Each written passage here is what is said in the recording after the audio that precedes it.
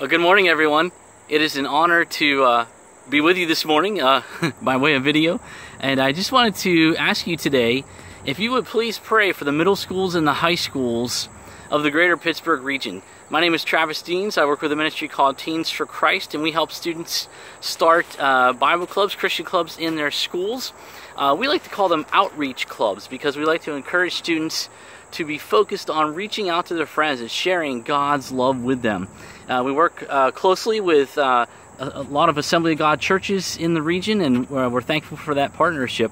Uh, and uh, recently, at the Fearless Conference, which took place at Calvary Assembly over in Irwin, uh, your youth pastor Daniel brought a group of students, and they got to hear some of the training on how to start an outreach cl- focused club in their high school. And so we also did a follow up meeting with um, one of your students about starting a, one of those clubs at Bentworth, and that was very exciting.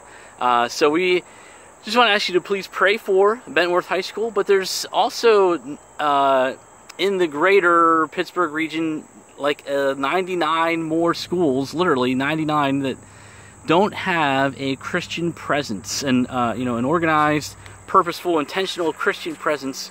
Uh, students who want to reach students in those schools. Um, you know, our public schools today are a mission field. They really are. They're full of students who are far from God. At least 9 out of 10 students that walk through our high school hallways don't know Christ and they don't know the gospel message. Who's going to reach them? Well, to be honest, there's really no one better to reach them than their fellow students. Christian students really are the best ones to reach uh, teenagers in their schools. And so, if a school is a mission field, uh, that makes each new school year a nine month mission trip. And that makes our Christian students missionaries to their schools. So I just want to encourage you today to please pray over the students in your church. Pray that God would give them a burning passion to show His love, to share His truth with students in their schools. We always encourage students to, you know, find ways to do kind things, to, to be a blessing to other students in their school uh, to open that door. You know, people are a lot more willing to hear about God's love if they have experienced it uh, in their own lives. And we know that God's love is not a just mushy feelings or something like that. God's love is holy, and He is a holy God. Um, He wants us to be holy, to make us holy.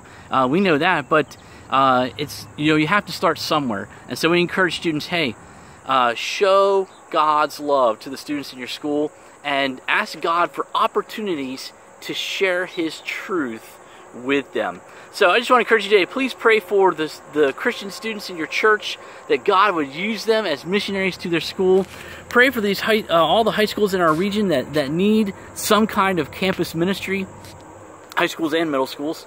Uh, please pray for the teachers and the principals, administrators, coaches, support staff that work at our schools in our region. Uh, God is at work in our public schools.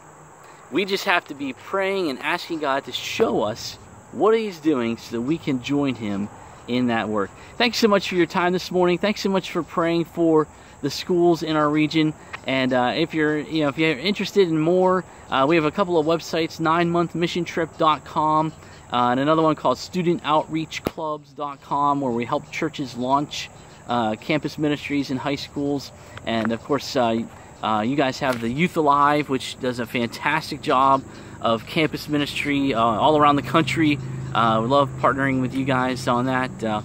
but thank you so much for your time. Thank you for praying for our schools.